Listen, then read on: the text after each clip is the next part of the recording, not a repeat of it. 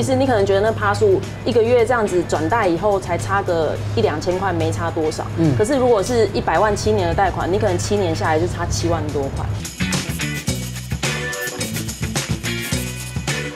是其实事实上，我看到之前有一个新闻哦，他说在台湾呢，有八成以上的人都是有背债的。嗯，因为其实学贷啊、房贷啊、信贷啊，所以其实呢，债务是很多的。嗯，然后呃，也有很多人，他们可能在这个自己的可支配所得里面，每个月是有四成是要去还款，所以其实这是一个大家都会遇到的问题。对。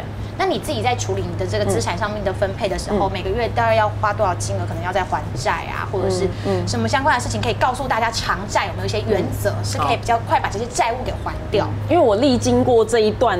就是蛮长的日子，所以我我大概整理出来，其实可能很多人也觉得这是基本常识啊，但我觉得可以提醒大家，因为大部分我们跟银行借钱就会照银行的规则去还钱，对对，可是实际上你可以经过一些整理哈。第一个是，比方说借贷的利率，你要先想办法把高利率变成低利率，对，哦，因为有的时候可能每一个人信用的状况不一样。其实你可能觉得那趴数一个月这样子转贷以后才差个一两千块，没差多少。嗯。可是如果是一百万七年的贷款，你可能七年下来就差七万多块。就是你要自己去想办法把高的利率尽量降低。如果比方说你有一些信用卡债，你可以用信贷来做解决。哦。例如这样子。那另外就是债务整合也可以吗？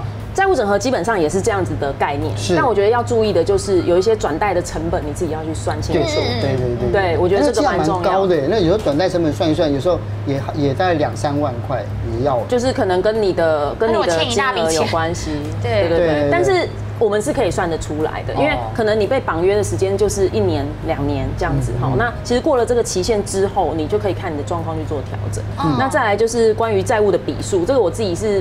蛮有切身的感觉，就是你可能借了很多家银行，你会变成你的生活变得很混乱，因为你可能五号、十号、十五号，感觉还不同的，一直还不同地方。对，那我觉得你要透过就是呃高转低这样子的概念，然后去把债务的笔数多变少，尽量把你的债务集中。一方面，尤其是你最好把你的债务集中在你的新转银行上面。嗯，好，因为这样就是他就知道你赚多少钱，然后你有乖乖还钱。那而且我觉得每个每天都要还债，那个感觉也蛮真的压力。每隔几天就还，一直就觉得我的钱永远都存不下来。对，最最主要是一直不知道自己明天在哪里，对，要还可怕的感觉在这边。对对。